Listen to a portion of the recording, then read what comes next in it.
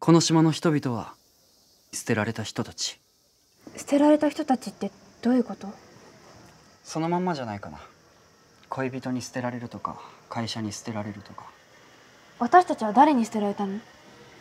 知らないよ。知らない人に捨てられるなんてありえる？やっぱり納得できません。階段島って何ですか？僕は真鍋優がこの島に来たことが許せなかった真鍋簡単に人を捨てていけるような場所なんてあっていいはずない。君はちょっと極端なんだ。正しいことの正しさを信じすぎてる。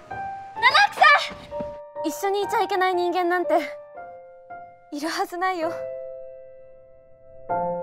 この物語はどうしようもなく彼女に出会った時から始まる。いなくなれ。群青。私と一緒にこの島を出るって約束してくれる？